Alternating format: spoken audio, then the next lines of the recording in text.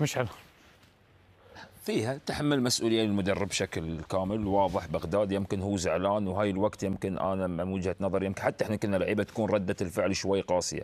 فأنا تمنيت انه من بغداد ما يطلع في هالوقت بعد ما المباراة تهدى الأمور تهدى خروجهم من هاي خاصة كفي يعني لاعب في قيمة بغداد حاس بالمسؤوليه يعني وهو هداف الدوري كم مرة واتفق معه في يمكن بس جزء بسيط من هاي ولكن ما يصير ان أطلع بعد وأحمل مسؤولية؟ فأنت بعد بغداد يمكن تقدر تحمل مسؤولية نفسك إنك أنت في هبوط في مستواك في الفترة الأخيرة. إحنا كنا نشيد وكنا نطالب فيه إنه يكون موجود ولكن في الفترة الأخيرة يعني يمكن بغداد مر في ظروف خروج الجزائر مو استدعاء للمنتخب في آخر فترة نزول هبوطه حتى في الدوري في آخر مباريات التبديلات اللي صارت يمكن أثرت على بغداد. ما في اثنين يمكن عندنا هني كإعلاميين أو حتى مدربين يختلفون بغداد من الروس الحربة الجيدين. ولكن في, في بس ولكن أنا ما عجبني أن انتقاد المدرب بشكل كبير يعني ما كانت حلوة في قيمة بغداد. النجوميه أخوي مشعل والنجومية أيضا مثل ما تي في الملعب هي النجومية أيضا خارج الملعب. أنت في مرحلة تحتاج إلى الاحتواء. صحيح. فالنجم يجب أن يكون دائما صوته إيجابي حتى فعلا يحتوي المرحلة الحالية. والسد قادر أن يعود. وليش قلت لك عبد الرحمن أمر شخصي. المفروض ما تصرح يعني ما تكون لأنك ردت حتى لو كنت أنا مكاني يمكن أقول نعم. تصريح. بس على أساس نهاية البرنامج قلت رأيك؟ أكيد. شكرا. محمد سويلم أنا تعقيبك على تعليق تصريح بغداد أنا بكل تأكيد أتفق مع أبو عبد الله وأعمل له رتويت باختصار. كابتن مجبل إيش رأيك في تصريح بغداد؟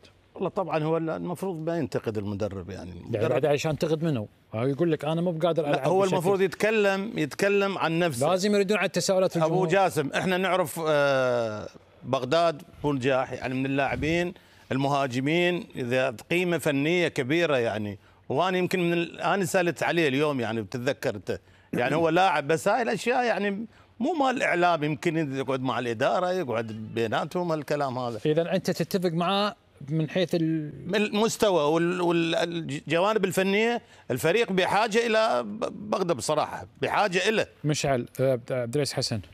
طبعا أنا ما أتفق مع بغداد في في كلامه بخصوص انتقاده للمدرب لكن الأهم شيء إنه هو هو ذي امكانيات كبيرة لكن أكيد إنه هو لازم يعي نقطة مهمة.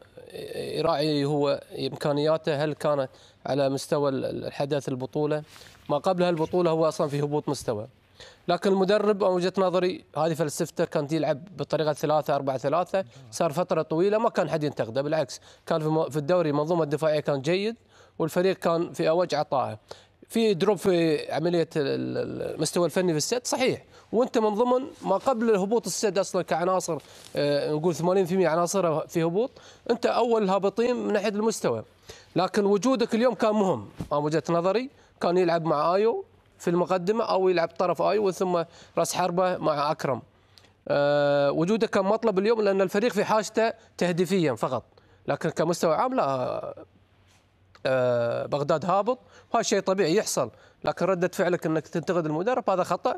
المدرب له طريقته وله فلسفته ونجح في فترة طويلة والكل أشاد في المدرب في في بطولة الدوري. ما أشادوا فيه اليوم لأن العوامل الادوات اللي اللي تخدمه في الدوري كانت ترفع من أسهمته هابطة. فشيء طبيعي إن يعني الفريق يكون في الوضعية. يونس.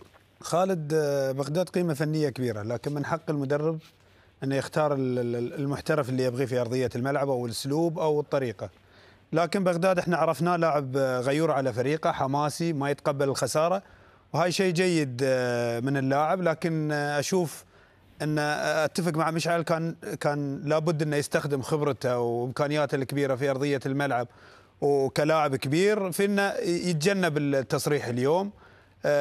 لابد إن الفريق آه لابد إن نجوم الفريق أو اللاعبين الكبار يحتوون المجموعة مرة ثانية ويفكرون في المستقبل لأن المباراة اليوم انتهت والسد خرج من البطولة لكن الجميع يتحمل الخساره في وجهة نظري أنا ليس المدرب فقط وليس بغداد.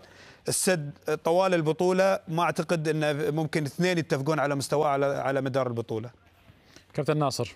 حديث بغداد بنجاح بعد خروج السد بهذه بهذه يعني المستوى المتدني. فلذلك أنا آه، مع الكابتن يونس إنه هو غيور على فريقه. هو آه، حابب يكون فريق السد في المقدمة. إحنا جميعنا آه، كنا متوحدين بالرأي إنه تدخلات المدرب وتغيير التكتيك من مباراة لمباراة وتغيير مراكز اللاعبين كانت في خطأ فيها. صحيح ما بصير ينتقد المدرب وإحنا كمدربين بنقول إنه غلط ينتقد المدرب ولكن خروجهم من البطولة أنا باعتقادي ردة فعل آه، كلاعب حريص ومحب لفريقه. نبيل. خالد أنا ما كنت أتمنى إن بغداد يطلع بعد تصريح في هذا الوقت ولكن بالمجمل دائما الشماعة هو المدرب ولكن إحنا خلينا نسترجع هذا هو نفس المدرب اللي فترة طويلة قضى مع بعد رحيل شافي مع الفريق قدم مستويات جيده وواصل انتصاراته في الدوري. المدرب دائما ادوات هي اللي تنجح المدرب. لو كان لاعب أو لاعبين مش في مستواهم وممكن نقول ليش المدرب ما يلعب يلعبهم وما يلعب اللاعبين البدلاء. ولكن علامة استفهام كبيرة الفريق كامل كمستوى ما في أي لاعب في فريق نادي السد في هذه البطولة قدم مستواه اللي إحنا نعرفه.